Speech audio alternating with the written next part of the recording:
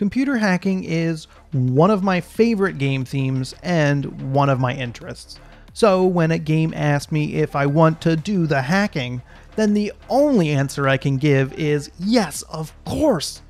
Well, I'm not quite sure I feel like a cyberpunk hacker after playing Cyber Protocol, but it's definitely a fun, quick action arcade game, so stick around to hear more.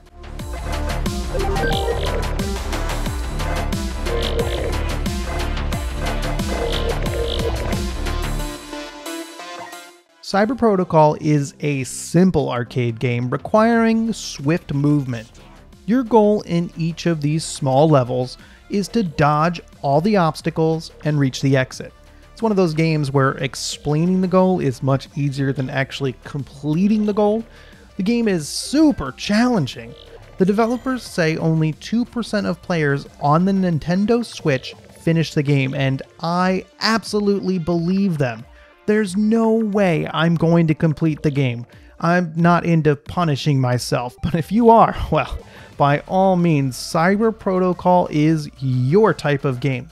However, it's still a fun game, and if I had the time, I could see myself trying to be part of a small group of players who did complete it. Skillful movements alone aren't going to let you finish Cyber Protocol. You must also plan your moves if you want to get through the level.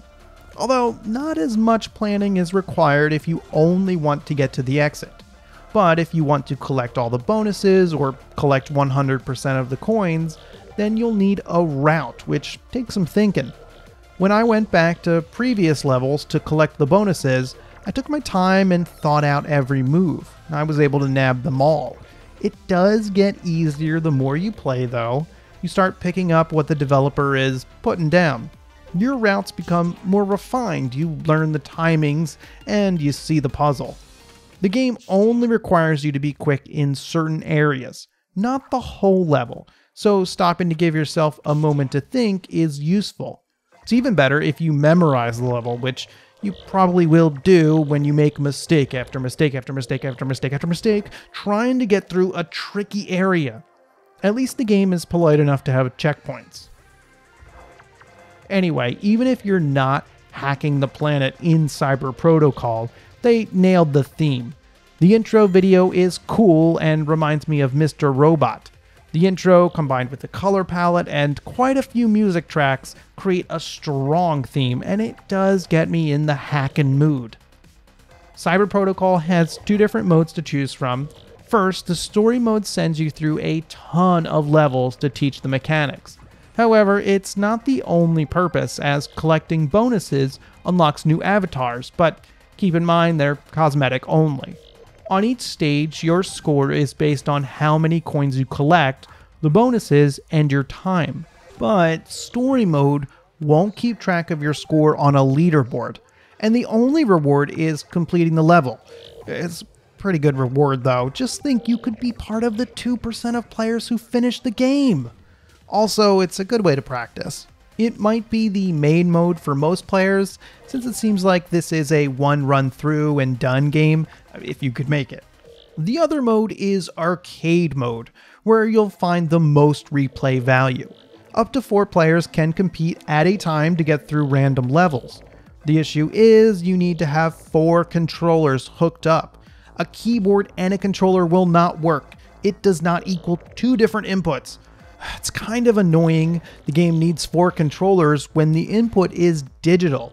Also, having two players on the screen is a little weird. I, it's hard to imagine playing with four.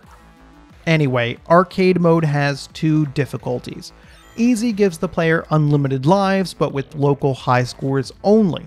Also, you can choose which zone you start in, and the game is finished once you beat the zone. Your other option is hard difficulty with unlimited lives, an unknown starting area, and no checkpoints. These runs are counted on an online leaderboard. However, I don't expect a ton of players to swamp the leaderboards, but it is more exciting to play with random levels and a limited amount of lives.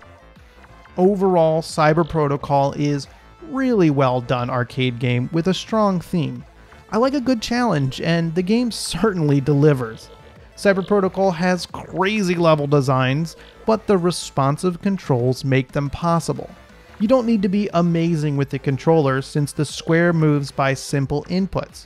So if you like fast, challenging gameplay where you have to restart over and over and over and over and over, Cyber Protocol is one of the good ones.